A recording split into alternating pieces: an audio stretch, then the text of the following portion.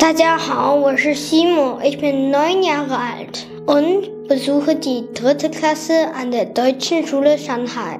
我们选择上海德国学校的主要原因是德国的教育体系和与之相应的这一套德国教育理念。Ich bin in Deutschland in den Kindergarten gegangen.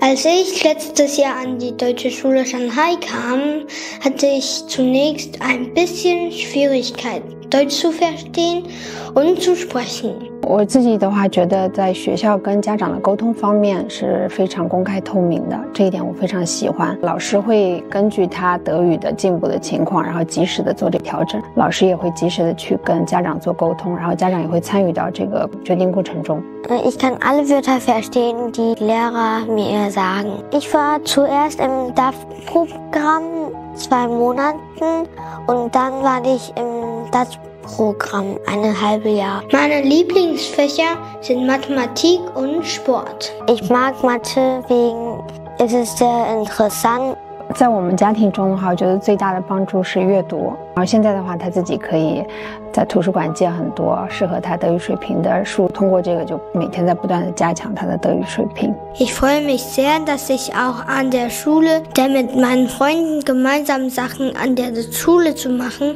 ist immer besonders toll.